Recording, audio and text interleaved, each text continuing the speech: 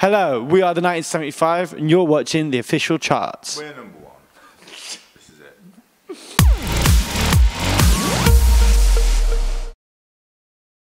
Hello, everybody. We are the 1975. We've just found out that our new album, I Like It When You Sleep, For You're So Beautiful, Yet So Unaware of It, has gone in at number one.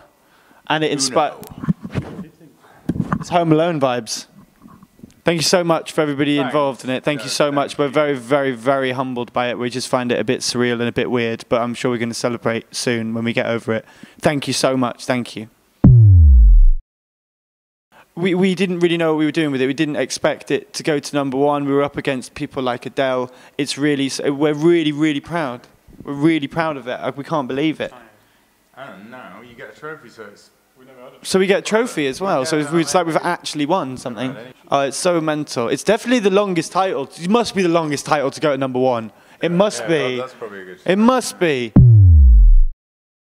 You, the US is, has opened up for a lot of artists now due to the internet. I think that the, the, the America has become a more accessible place, but the idea of, I don't know, having such a presence there culturally it is still really surreal for us.